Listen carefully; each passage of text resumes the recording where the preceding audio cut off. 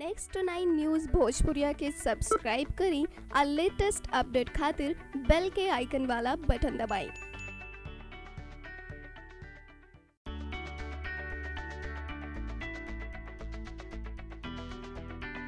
Bhojpuri film के mega star Ravi Kishan के पास आज नाम, शोहरत और धन दौलत की कोई कमी नहीं है। एक फ़िल्म के लिए उन्हें लाखों रुपए मिलते हैं। आज उनके पास बीएमडब्ल्यू है। लेकिन क्या आप जानते हैं कि रवि कभी भूखे पेट सोने को मजबूर थे?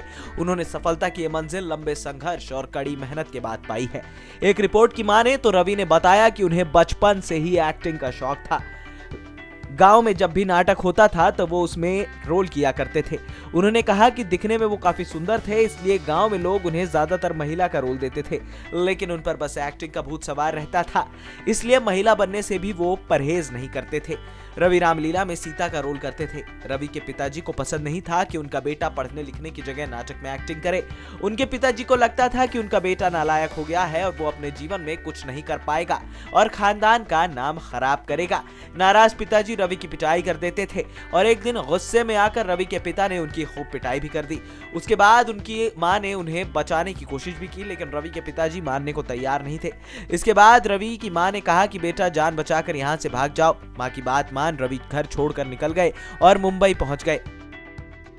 नेक्स्ट नाइन न्यूज़, भोजपुरिया की रिपोर्ट।